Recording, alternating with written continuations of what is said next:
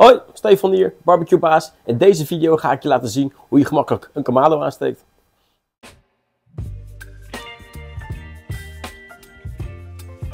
Nou, het aansteken van een kamado is alles behalve hogere wiskunde. Toch merk ik op social media dat heel veel mensen toch nog tegen wat problemen aanlopen. En daar ga ik jullie mee helpen in deze video. Een kamado aansteken kun je op een aantal manieren doen. Van alle manieren zal ik je de voor en tegens uitleggen. En ik weet zeker dat jullie na het zien van deze video geen problemen meer zullen ondervinden met je kamado lekker laten branden. Kijk lekker mee. Een kamado kun je aansteken met een aanmaakblokje, aanmaakwokkel of met mijn favoriete gadget, de Louvre Lighter.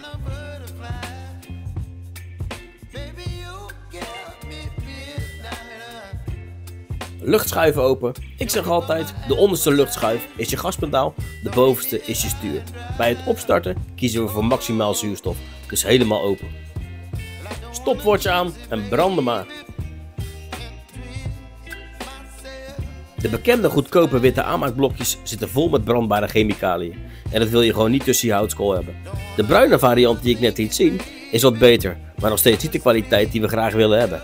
Vaak zijn ze gemaakt van geperst hout of karton en zit er een concentratie van paraffine in. De aanmaakwokkel daarentegen is volledig gemaakt van natuurlijke producten en zorgt voor een mooie ontbranding. Deze gebruik ik nu dus. Twee wokkels is prima en je maakt een kuiltje in het midden van je kolenmand. Deze methode duurt dus ongeveer 10 minuten. Dan is het nu tijd voor mijn favoriete looflighter. Stopwatch aan en blazen maar. Aangezien ik jullie thuis niet te lang wil ophouden, omdat jullie zelf zo snel mogelijk die barbecue aan willen steken, speel ik dit stukje video even versneld af. Een looflighter is in feite niets meer of minder dan een opgevoerde verfbrander die warme lucht op je kolen blaast en op deze manier zorgt voor een hele snelle ontbranding. Dit maakt het wel heel aantrekkelijk om door de week even snel je barbecue aan te steken.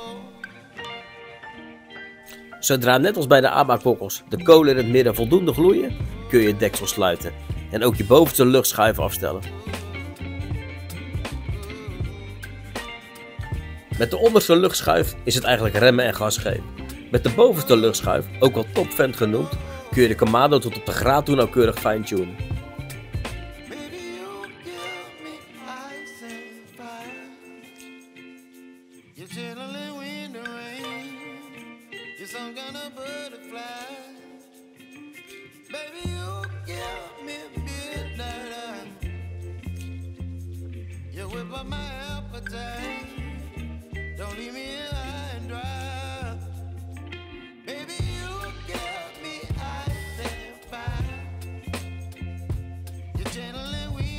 De kolen beginnen al lekker te gloeien. Een looflighter is even een investering, maar je zult straks zien dat hij beduidend sneller is dan een aanmaakwokkel.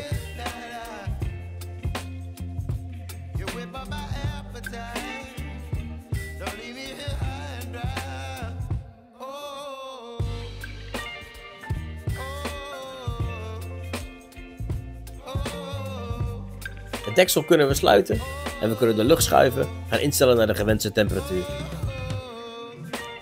Zoals je ziet is de looflighter 6 minuten sneller dan twee aanmaakwokkels